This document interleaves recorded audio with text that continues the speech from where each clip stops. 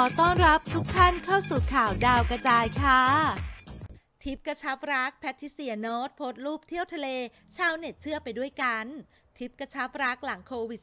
-19 อีกหนึ่งคู่รักที่ถูกจับตามองมาอย่างต่อเนื่อง และถึงแม้จะไม่ค่อยมี moment หวานๆให้ได้เห็นสักเท่าไหร่ แต่ทั้งคู่ก็ยังคงรักกันหวานฉ่ำสม่ำเสมอ เรียกได้ว่าหวานน้อยแต่หวานนะสำหรับคู่ของนางเอกสาวแพทริเซีย ธัญชนก กู๊ดและโนตวิเศษลังสีสิงห์พิพัฒน์ยิ่งช่วงนี้เพราะปัญหาไวรัสโควิด -19 ระบาด ยิ่งทำให้ทั้งคู่ต้องห่างกัน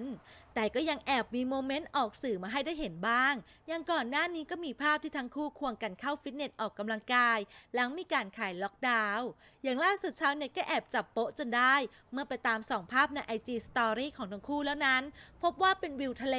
จากสถานที่ที่เดียวกันเป๊ะและถึงแม้ทริปนี้จะไม่มีภาพคู่ออกสื่อให้ได้เห็นกัน แต่เชื่อไปแล้วว่าทั้งคู่ไปด้วยกันอย่างแน่นอนค่ะ